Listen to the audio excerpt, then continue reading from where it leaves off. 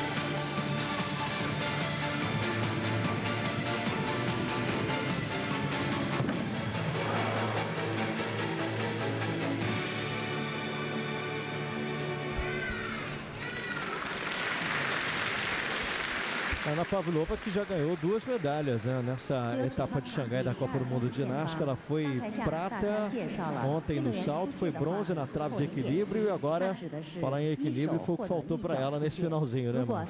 É, ela tem se mostrado uma ginástica consistente nas, nas, em todas as provas. A gente não pôde assistir a prova de assimétricas dela.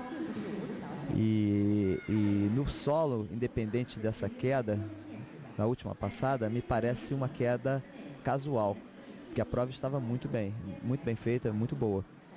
Então, provavelmente é uma ginástica que vai disputar aí é, no campeonato mundial, provavelmente o individual geral, né? Porque ela tem três provas é, muito bem feitas, né? Sendo duas onde ela ganhou medalhas. Então, e nós temos aí é, para o Mundial da Dinamarca, duas ginásticas. Duas paralelas, uma etapa de Copa do Mundo de Ginástica já é uma grande vitória para ele. Ana Pavlova aí com 13 e 7